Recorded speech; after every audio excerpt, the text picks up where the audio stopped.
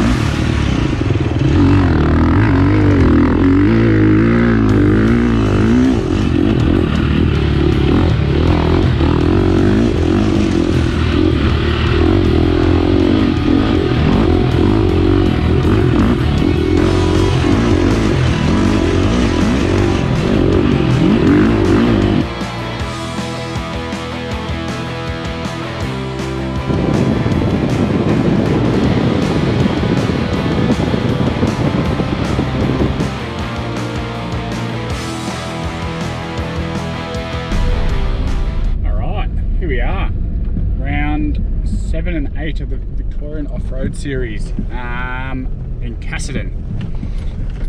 Last time it was pretty tight and whooped out, so I imagine it'll be pretty similar this time. The grass section looks wet already and slippery, so yeah, it should be all right. I um, we just finished up a ride out at uh, just out of Hamilton, well about halfway between Hamilton and Casterton. Just did a cut like an hour or so this morning, and now me and Desi have headed over this way and yeah, set up camp and get ready for another long weekend of racing again. Start of day one. It's cross country today. Last time we were probably we ran just over over oh, 2045 minutes I think it was. So I'd say it's probably pretty similar this time.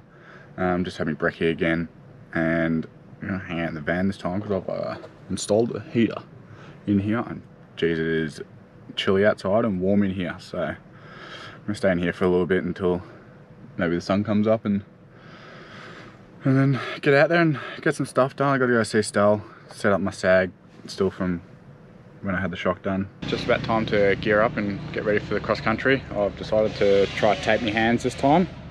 Um, just to see if I don't usually need to do it, but I know for Hattah I probably will. So I kind of want to give it a go and, and see how it how it works today and if I need to change anything or if I'm happy with how they're taped or just don't tape them at all. So sweet as. See how that goes and then fingers crossed they don't ball up and blister up. Alright, here we go.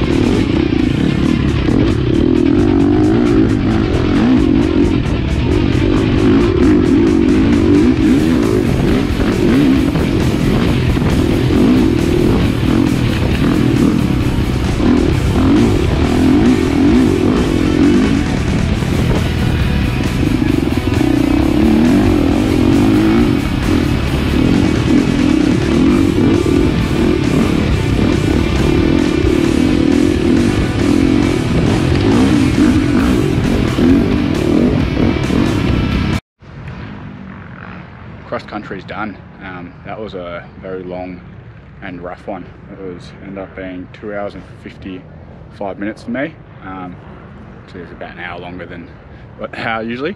Um, so yeah, my arm's pretty sore. The taping seemed to hold up quite well. Um, yeah, no, it was good, good fun. Good to spend that much time on the bike. Um, but I can definitely feel it now. Definitely pretty, pretty tender by the end of it.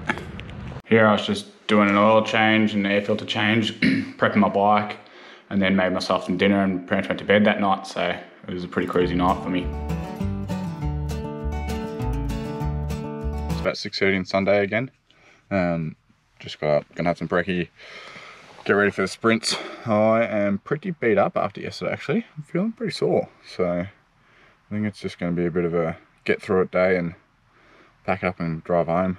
Um, I'm already looking forward to getting home, having a warm shower and jumping in bed really. So that's alright. We'll get through it and hopefully after the first or second sprint I'll loosen up a bit and it turns a bit more fun. But for now, let is let's just have some brekkie. Wouldn't be an episode of my vlog without a sunrise or sunset. Give that another half an hour or so. I'll be epic. Here it comes. Not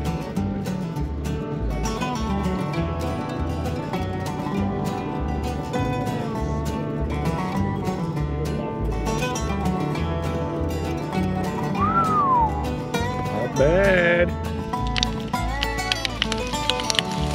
Put up an egg. Chuck her up and get her on the job. Just heading to riders briefing. Everyone's getting ready, nice and early. Hopefully an early finish and get out of here. Canteen, food, first aid's here. And we'll get the show running and see how you're going and how, how much ride you want to do. Any questions? One lap. Sight lap. Sight lap. Here we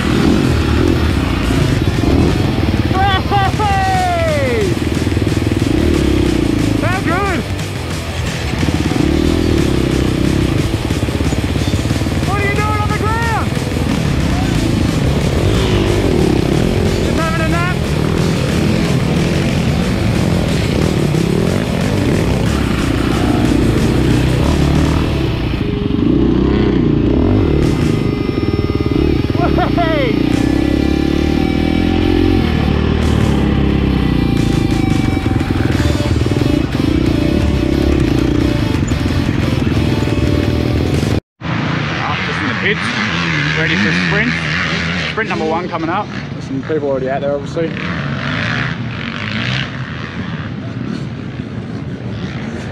Oh yeah.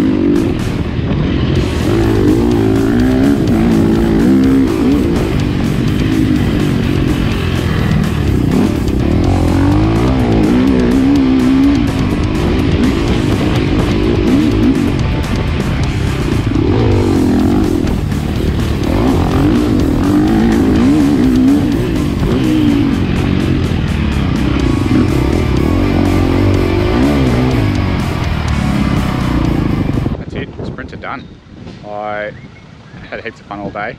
Um, that last one I got a bit excited and had a big over the bars moment, so I'm hoping that footage is there. But I tried to reshape the track with my helmet, which was never works that well.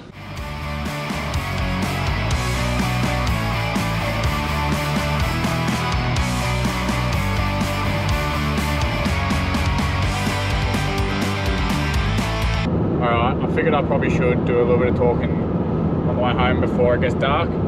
Um, how did today go? Uh, yeah, pretty good. I really enjoyed the track. It um, it bedded in real well. I think if it was any longer, it would have been a bit of a bit of a slog to get through it because it was very rough. But um, no, all in all, it was it was awesome. It was a good weekend. Uh, yesterday we got a little bit of a stitch up and ended up doing about an hour longer than we were supposed to. Um, and then, which I mean, to be honest, isn't the end of the world. All still riding, so it's still good fun. And then, yeah, today was a pretty short day. We only did the four sprints, and about oh, somewhere between 15 and 20 minutes each sprint. Um, and yeah, it was. How we go? Yeah, the first, oh, first sprint was not too bad. Um, just kept stalling. I couldn't get the bike started again, which was a bit annoying. Second one, I wasn't that great. I just sort of tried to pick my way around the rough parts rather than rather than actually hitting them. Um, and then so the third one, I went back to just bulldogging through all the all the rough parts because it was a lot slower trying to pick your way around them. Um, and then the fourth one, I was having an absolute ripper, I caught the two fellas in front of me. Overtook one, and then hit a log and went over the bars, which was pretty funny. Um, and yeah, so now packed up and well, about halfway through the drive, got about two and a half hours left, which so not too bad. Um, should be home by a decent time tonight, which is good for races out that way. Um, yeah, we'll catch you all later.